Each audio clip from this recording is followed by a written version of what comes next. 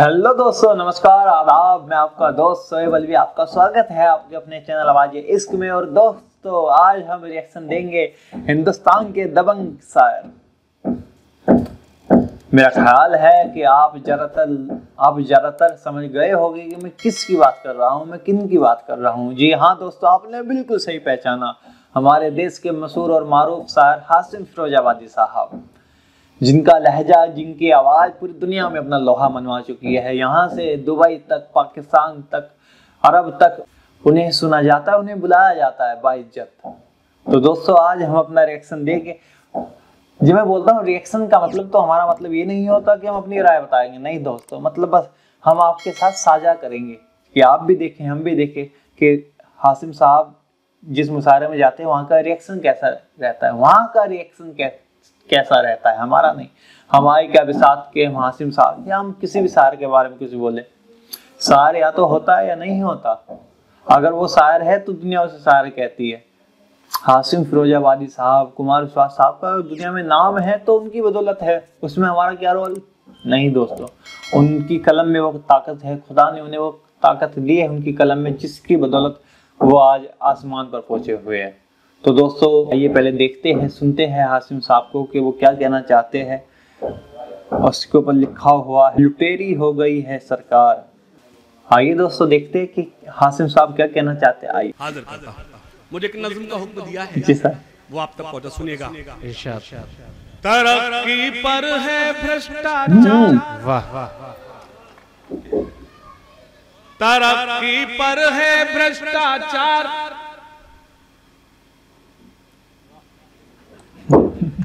हमारे यहाँ तो अकेला जाता है जो जाता है।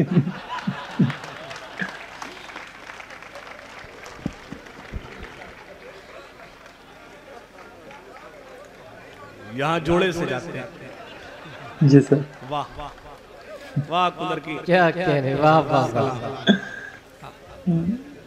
हमारे यहाँ तो हमारे यहाँ चलन है, मैंने बताया मैंने तो कुछ कहा आपने हंसकर उसको खतरे में डाल दिया। क्या कहने सुनिएगा। तरक्की पर है भ्रष्टाचार। खुदा से दुआ करता हूँ अल्लाह करे आप ऐसे ही हँसते खिलखिलाते रहे।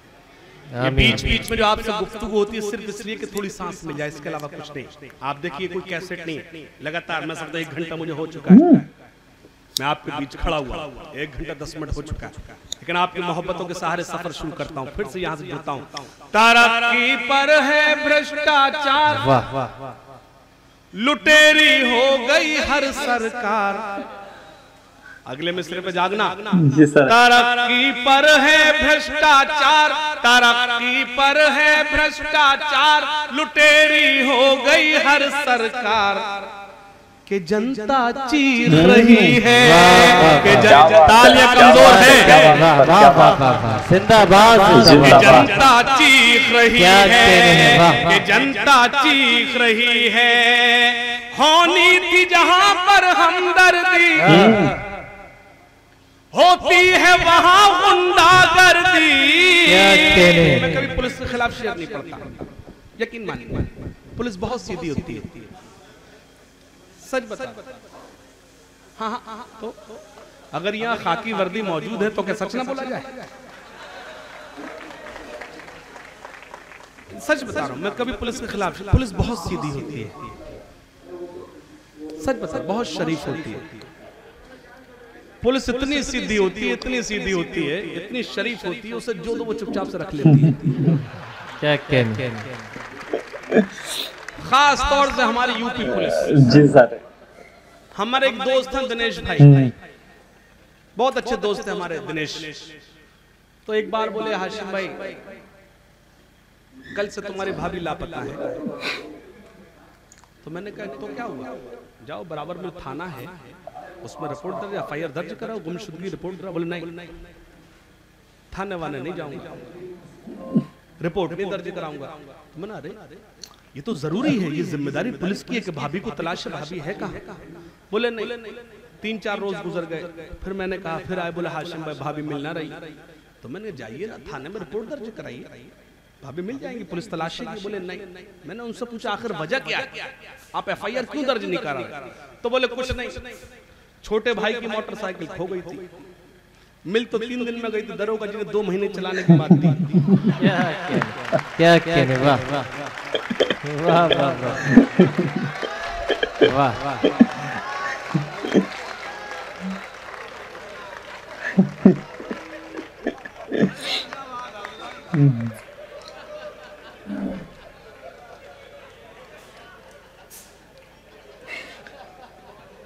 होनी थी जहाँ पर हमदर्दी होती है वहाँ गुंडागर्दी। वाह वाह रक्षक न रही खाकी वर्दी और लूट मार की हद कर दी।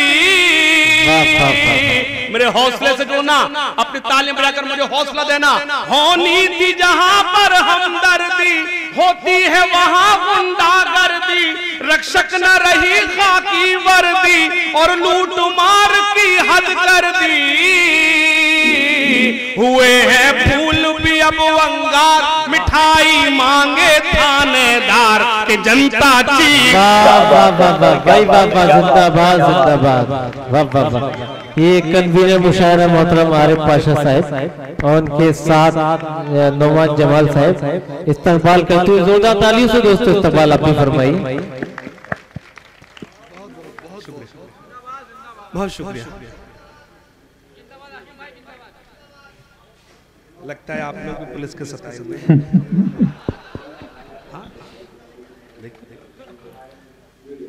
कि जनता चीख रही है कि जनता चीख रही है बिल्ली का दूध पे पहरा है। क्या कहने? कि जनता चीख रही है। वाह। मीडिया मौजूद है अखबार वाला। तो क्या सच न बोला जाए? कुछ संपादक है बाजारी। क्या क्या बात है।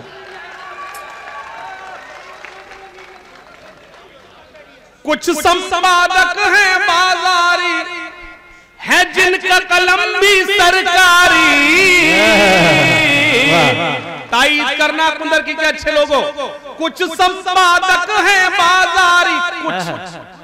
कुछ कुछ कुछ। कुछ। यू आर नॉट देयर आप वहाँ नहीं हैं वरना ऐसा हो कल का अखबार मेरे खिलाफ छापा जाए। क्या मुझे बख्शा जाए। मैंने कहा कुछ कुछ संपादक है बाजारी। क्या कहने है यहाँ तो पाँच पाँच एक साथ जाते हैं।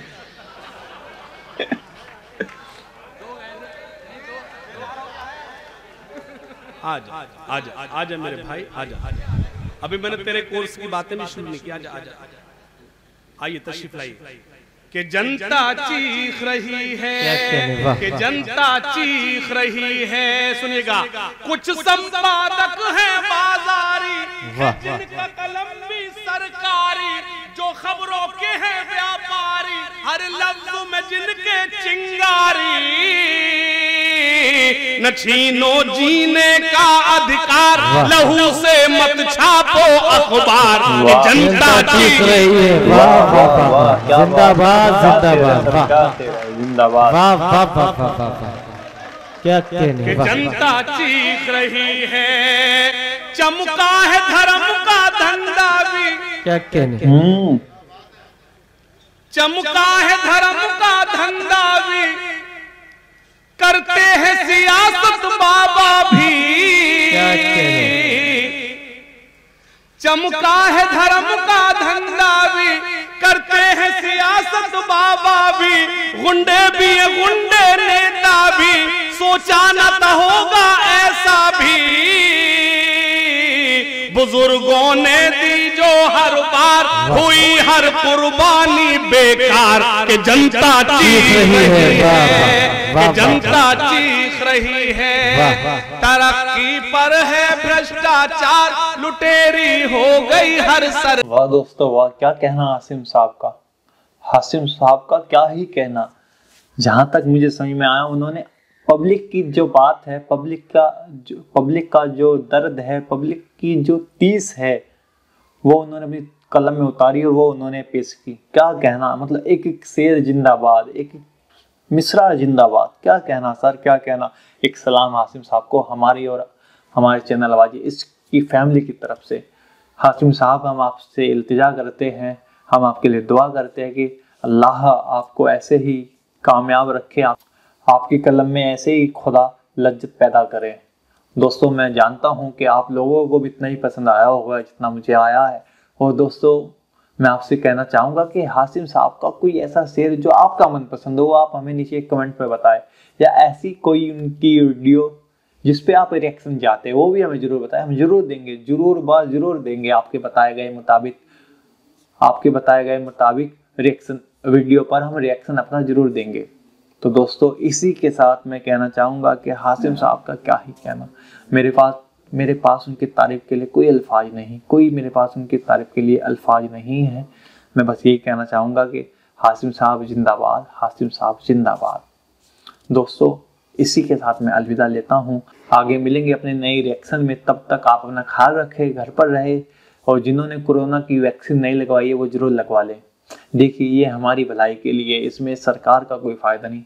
हमारी भलाई है। तो दोस्तों, चलते हैं, फिर मिलेंगे आगे कभी। राम राम, दुआ, सलाम, जय हिंद।